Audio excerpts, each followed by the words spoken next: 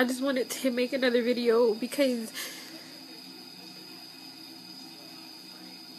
after sharing with y'all the pain that I feel from my cousin being viciously murdered.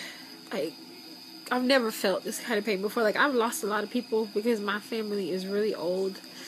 My dad is 75, my mom is 64.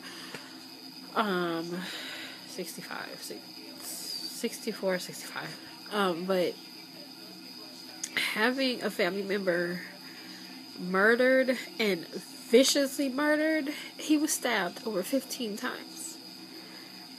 And then they left him for dead. They actually stabbed him, beat him up, and then left him. And that's where he died. That is where he took his last breath. I can't describe to you that kind of pain knowing that somebody hated my cousin enough to bring a weapon to what was just supposed to be, I guess, just an argument or the boy tracked him down. I'm not quite sure, but I know the boy and his friends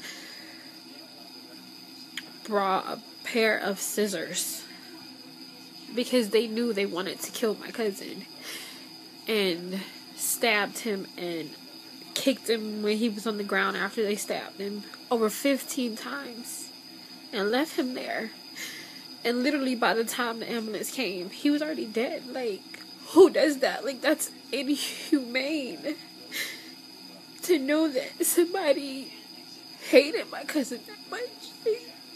I can't explain to you the pain that me and my family feel. I can't explain to you the huge hole that's in my heart.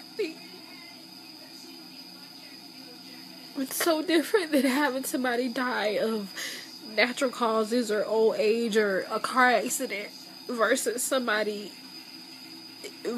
viciously murdering them. Like, there is no pain greater than that. Bullying has to stop. It has to stop. I wouldn't wish this kind of pain on anybody. It has to stop what happened to my cousin shouldn't have happened. He should be here right now. He was 22 years old. 22. He was a year from having all his dreams come true. It has to stop. I don't want this pain to happen to anybody else. It has to stop.